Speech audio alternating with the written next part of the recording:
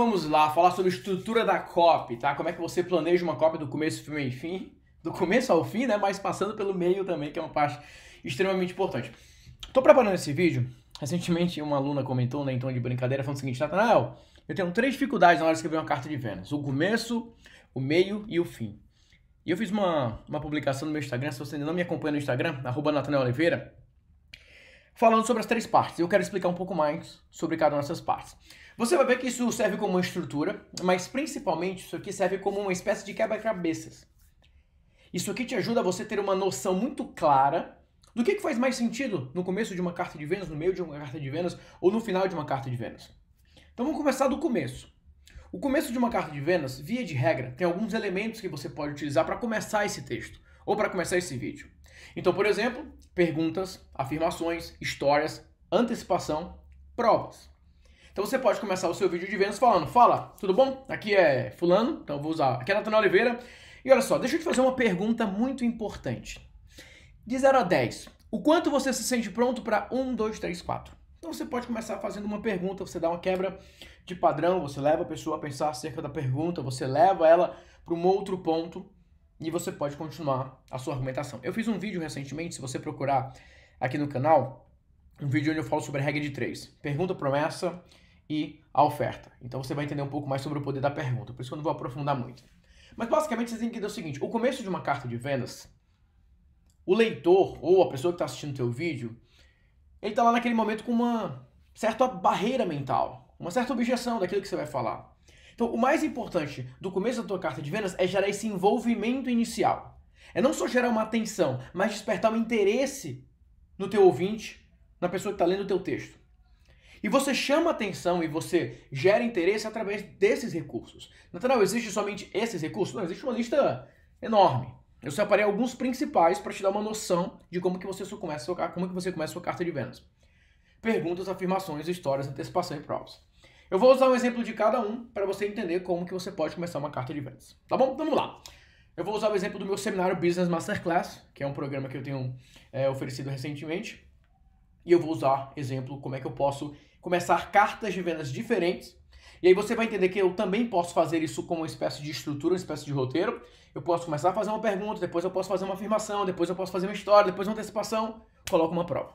Vamos lá? Então ficaria mais ou menos assim. Fala galera, beleza? Aqui é Nathanael Oliveira, olha só. Eu vou te fazer uma pergunta agora, uma pergunta muito importante, quero que você pare para prestar atenção nessa pergunta e me responda com toda sinceridade. De 0 a 10, o quanto que você sente hoje que você tem uma empresa estruturada e pronta para crescer? Se você respondeu zero, fica tranquilo, tem jeito. Se você respondeu, não, Natanael, não, não é zero, 5, fica tranquilo. Dá pra gente melhorar isso. Mas se você respondeu 10, parabéns, é raro que alguém fale isso. Mas se você não falou nem 10 nem 9 e você realmente sente que você precisa ir para um próximo nível quando o assunto é estruturar o teu negócio, eu quero te dizer algo muito importante, ó, afirmação. O segredo para você escalar as tuas vendas está em você ter uma clareza muito maior da tua estratégia empresarial. Vou repetir. O segredo para você escalar as suas vendas vem de uma clareza, de uma decisão, de uma estratégia empresarial. Ou seja, eu fiz uma afirmação, ó. O segredo da escala nas suas vendas vem de uma clareza da sua estratégia empresarial. Então, é uma afirmação. Vamos inverter essa ordem para ver como é que a sua copy ficaria. Então, eu poderia começar essa copy. Fala galera, beleza? Aqui é Natanael Oliveira. Olha só, eu quero que você preste muita atenção ao que eu tenho para dizer agora. O segredo da escala nas suas vendas vem de uma clareza da sua estratégia empresarial. O segredo da escala nas suas vendas vem da clareza na sua estratégia empresarial. Eu vou explicar essas frases nos mínimos detalhes, mas antes deixa eu te fazer uma pergunta. De 0 a 10, o quanto que você sente que a tua estratégia hoje, que a sua empresa está pronta hoje para o crescimento? Viu como é que eu posso fazer, é, é, mudar os elementos? Eu posso fazer uma continuidade? Então vamos continuar. Eu posso entrar com uma história. Antes de aprofundar, deixa eu te contar uma história rápida. Recentemente eu conversei com uma empresária que ela está faturando muitíssimo bem, mais do que ela jamais faturou. Só que ela falou o seguinte, Natanael, eu não sei até quando eu consigo aguentar nessa rotina, porque tudo está nas minhas costas. A minha equipe ainda não está treinada, a minha equipe ainda não tem clareza do que fazer, eu tenho que me mover em tudo e eu não vou aguentar esse ritmo. A minha empresa sim está vendendo muito bem, mas a minha estrutura de negócio está uma bagunça. Eu não sei o quanto que eu vou continuar isso. E sabe por que isso acontece? Porque mesmo quando você consegue escalar suas vendas, se você não tiver uma estrutura e uma estratégia empresarial bem definida, você não consegue manter essas vendas. E muitas vezes a queda nas vendas de uma empresa que vendeu muito é muito mais perigosa que aquela empresa que está precisando aumentar suas vendas. Então, fiz mais uma afirmação dentro de uma história. E aí eu posso entrar com antecipação. O que eu vou te mostrar agora, na minha opinião, é a estratégia mais poderosa que existe para você de uma vez só corrigir a tua estratégia e trabalhar com as tuas vendas. Então eu posso colocar uma antecipação. Prova. O elemento de prova pode ser desde dar uma olhada nesse resultado ou mesmo apresentar um material. Então, por exemplo, se você prestar atenção em como eu comecei esse vídeo, eu comecei esse vídeo com uma prova. Prova é você mostrar de maneira tangível para a pessoa aquilo que você vai ensinar. Então eu falei, gente, eu vou mostrar para vocês, ó, começo, meio e fim. Eu vou mostrar para vocês um processo que vai facilitar a tua escrita na carta de vendas. Então prova pode ser mostrar alguma coisa. Pegou aí? Então, você pode começar com uma afirmação, com uma pergunta, com uma história, com antecipação e fecha com uma prova. E o mais interessante aqui nesse caso é que você pode usar isso como estrutura.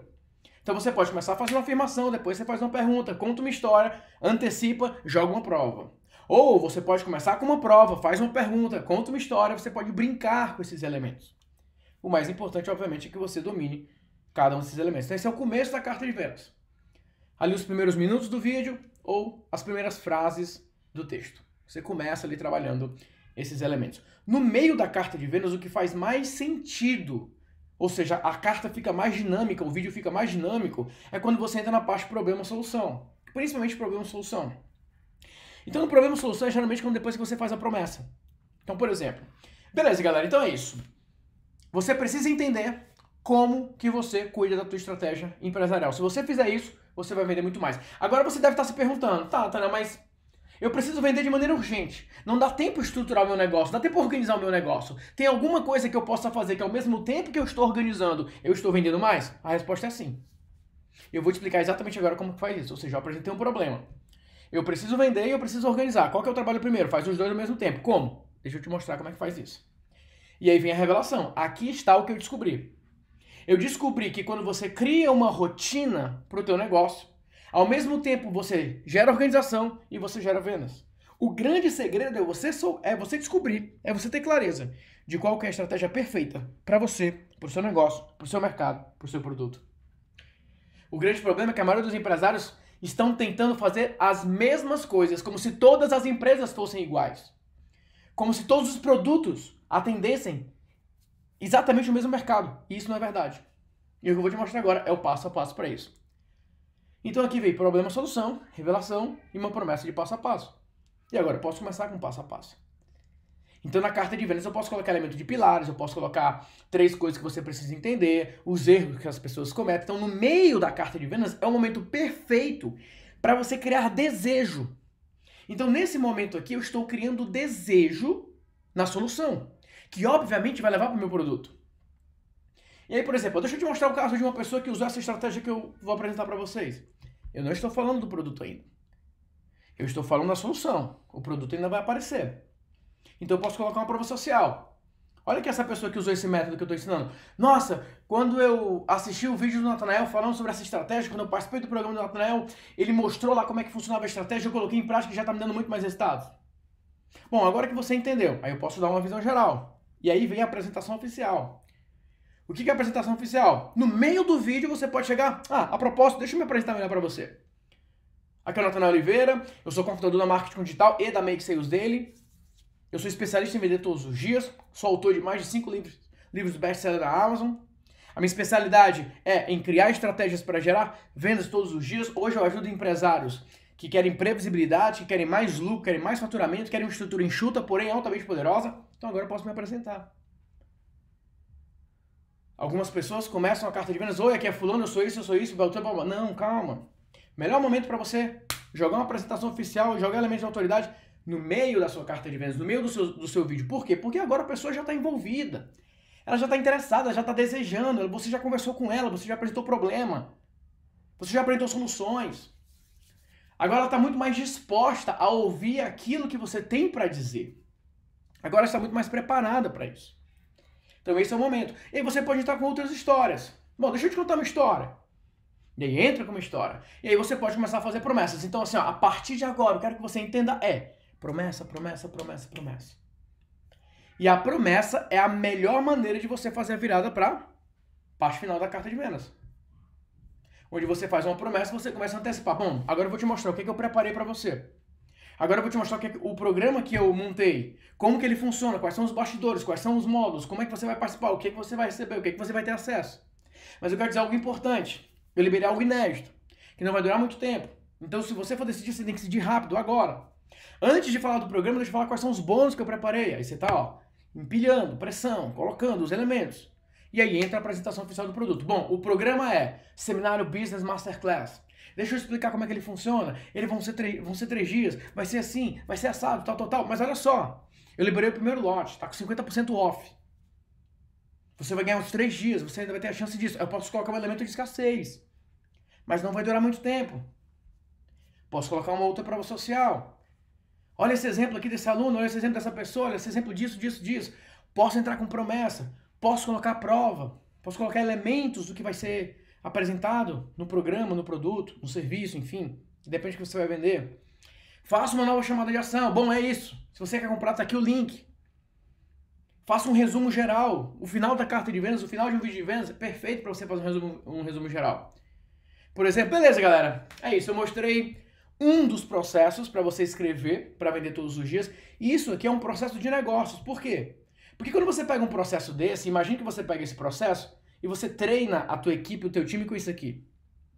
Quantos processos a tua equipe tem? Quantos manuais a tua, a tua equipe tem, a tua empresa tem? Por isso que muitas vezes você não consegue se organizar. Porque você não tem processo, porque você não tem estrutura, porque você não sabe o que é para fazer, você não sabe o que é para trabalhar. Então, ou você cria processos, ou simplesmente a tua empresa vai ficar perdida. Todo mundo vai ficar perdido, você não consegue avançar. E é exatamente por isso que eu criei o seminário Business Masterclass. Tá aqui o link, compra agora. Então eu posso fazer uma chamada de ação final depois do resumo geral. Beleza, então começo da carta de venda, os elementos que você pode trabalhar, meio da carta de vendas, os elementos que você pode trabalhar e o final da carta de vendas, o momento da oferta, da antecipação, da urgência da prova. Natanael, eu quero saber os bastidores. Como é que eu faço uma antecipação? Quais são os exemplos de urgência que eu posso criar? Como que eu apresento um bônus? Como é que eu faço a apresentação oficial do meu produto? Quais são os tipos de escassez que eu posso fazer? Qual é a melhor maneira de coletar a prova social? Qual é a melhor maneira de apresentar uma prova social? Como que eu crio afirmações para o meu negócio? Como que eu mostro uma prova? O que, que eu escolho? Como é que você monta cada um desses elementos? Isso deve estar no teu plano empresarial. Na definição do teu plano empresarial. Isso aqui é estratégia de negócios. O que vem por trás dessa copy. Não é só copy. Tem muitos copywriters que vão escrever e eles ficam fazendo promessas que não têm um alinhamento perfeito com a mensagem de negócios, com o mercado, com a lacuna que a empresa quer ocupar. Por isso que o empresário precisa entender esse processo para treinar a equipe, para ajudar a equipe. E é exatamente isso que eu vou mostrar para vocês no seminário Business Masterclass. Eu vou te mostrar do começo ao fim, como que você estrutura a tua empresa para vender todos os dias? Como é que você organiza a rotina? Como é que você organiza a estrutura? Como que você prepara o teu negócio para vender todos os dias? Vai ser um seminário completo, vão ser três dias intensos, onde você vai ter a oportunidade de, de verdade, estruturar o teu negócio para vender todos os dias na internet. Treinar a tua equipe, definir rotinas, definir metas, planejar para crescer de verdade. O link vai estar aqui na descrição para você garantir tua vaga. Para você fazer parte desse programa que vai ser um divisor de águas no teu negócio. Eu tenho certeza que vai transformar o negócio de muitos empreendedores no Brasil. Que muitas vezes, nesse momento agora, estão perdidos por quê? Eles ficam estudando sobre tráfego, sobre copy, sobre funil, sobre campanhas, mas eles não param para pensar sobre negócio. E é exatamente o que esse seminário vai fazer para você. Combinado? Então é isso. Link tá aí abaixo. Garante tua vaga. E eu te vejo no seminário Business Masterclass. Gostou desse papo? Gostou desse formato de conteúdo? Deixa teu comentário, deixa teu like, compartilha com teus amigos e eu te vejo no próximo vídeo. Um grande abraço, fique com Deus e até a próxima. Tchau, tchau. E fui!